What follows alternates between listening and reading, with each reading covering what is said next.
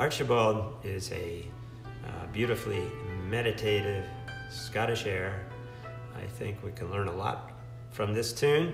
Uh, one is patience, how to play patiently and keep keep the uh, keep from moving too quickly in a tune. Uh, it's a it's a great illustration of the Aeolian mode. It uses all the chords that you might expect to see in Aeolian, uh, with one little surprise chord that I, I throw in. Present a backup.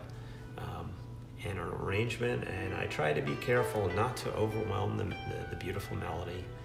Uh, I learned this tune uh, from fiddler Elke Baker, although I heard it many years many years ago, and uh, it was sort of reintroduced to me uh, by uh, fiddler Elke Baker, and uh, I hope you enjoy it as much as I do.